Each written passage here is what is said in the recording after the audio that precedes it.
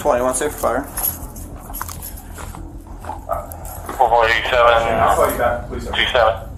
Four boy twenty-one, repeat. Safe for fire. So what happened? She Okay, demanded scene us secure at, uh, twenty forty-six. merchandise. Okay. Came up, I tried to verbally de-escalate.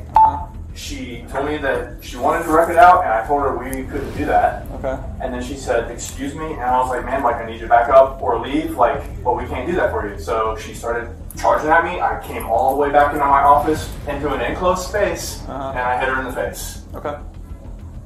Are you And I have it all on video. Ma'am, are you okay?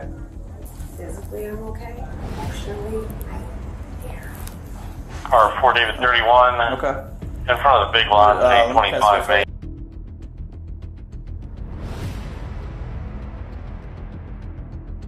This woman approached the counter to ask for a $1,000 in donations. Things didn't got her way so she became loud and aggressive.